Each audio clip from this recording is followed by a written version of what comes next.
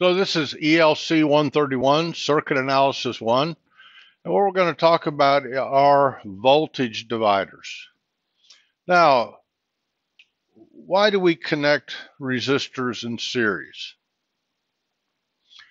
Well, there's a couple of reasons, and the first is we connect resistors in series in order to limit current.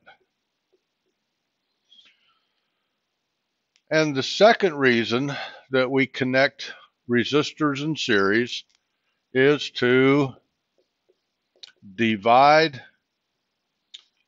a voltage up into parts. Now, these are really the same thing. It's just a different way of looking at the reason we, we connect resistors in series. So let's look at an example. So we've got some load, and this load requires 5 volts to be applied. And when 5 volts are applied to the load, this load will draw a current of 100 milliamps. Now, this load could be an Arduino, it could be a Raspberry Pi, it could be some digital logic circuits you, that you have constructed.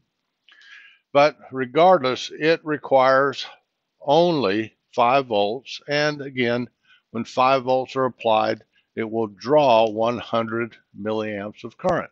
So we can really say that this load has a resistance calculated by Ohm's law. Oh, let's do it the right way.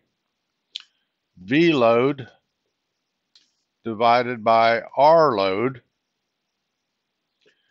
5 volts divided by 100 milliamps is 50 ohms. So to us, this load represents a 50 ohm resistance. Now, what if our only available source of voltage is a 12 volt source? And this 12 volts could come, of course, from a battery it could come from a DC power supply. But our only available voltage source is 12 volts. Can I connect this 12 volt source directly to the load? And the answer is probably not. If I connect this 12 volt source directly to the load, then the current through the load V source divided by R load, 12 volts divided by 50 ohms gives us a current of 240 milliamps. And this large of a current could damage or destroy the load. So how do we limit the current through the load? Well, we have to add a resistor in series. Now we know that the total resistance, RT, equals V source divided by I. And in this case, our source voltage is 12 volts. Our current is 100 milliamps. So we need a total resistance of 120 ohms. So in order to limit the current to 100 milliamps, we know the total resistance equals R plus R load. And the total resistance is 120 ohms. The load resistance is 50 ohms. Oops, need a minus sign there. So the value of resistance required is 70 ohms. Now, when we're selecting resistors, we cannot purchase a 70 ohm resistor. That standard value resistors we would have to select either a 68 ohm resistor or 75. So a 68 ohm resistor will be our closest standard value of resistor to select from. So by placing a 70 ohm resistor here, or in this case, 68 ohms, we will limit the current to be approximately 100 milliamps. Now, that's not all we need to know about the resistor. We also need to know its power rating. Because if we put too small of a power rating here, the resistor may overheat and either change its value or open due to excessive power dissipation. So with our resistor, we know that P equals I squared times R, 100 milliamps squared times 68 ohms. Um, no, P equals V times I equals 7 volts times 100 milliamps equals 700 milliwatts. So we would have to purchase a 1 watt resistor or use a 1 watt resistor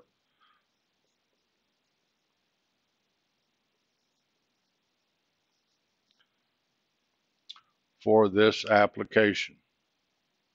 Our power ratings come in eighth watt, quarter watt, half watt, one watt, two watts, three watts, five watts, and other values.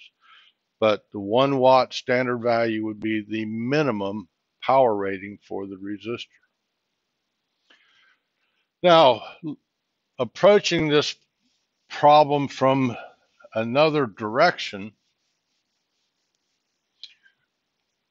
we could look at using resistors in series to divide voltage. Now we know in this circuit that V source equals VR plus V load. So we know that the resistive voltage will be 12 volts minus 5 volts or 7 volts and the value of resistance equals VR over I. 7 volts divided by 100 milliamps gives us 70 ohms. Again, our closest standard value is 68 ohms.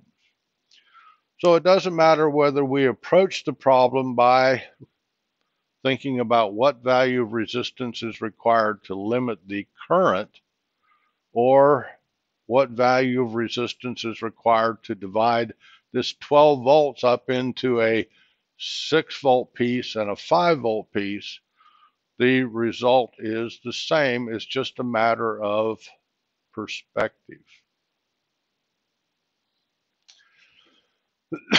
Excuse me.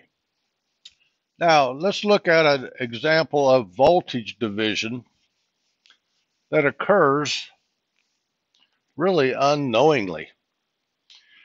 And I have a 120 volt source, such as we commonly have in our households. And then way over here, I have a load that has a value of 8 ohms. Now, this load could be a motor, it could be a heater, it could be incandescent lamps. It doesn't matter what it is, but my load has a resistance value of 8 ohms. And connected from the source to the load is an extension cord that's 100 feet of 16 gauge conductor, a typical drop cord. Now, this length of resistance has approximately 0.4 ohms of resistance. So when current flows to that load and then back to the source, it will see a combined resistance of approximately 0.8 ohms. And my question is, how many volts will be applied to the load? Will it be all 120?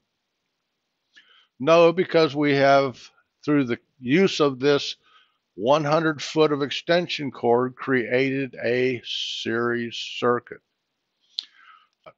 So the circuit that the load sees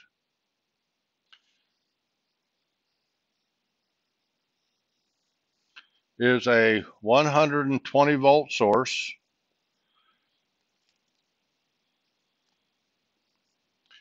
and RW of 0.8 ohms and a load resistance of 8 ohms.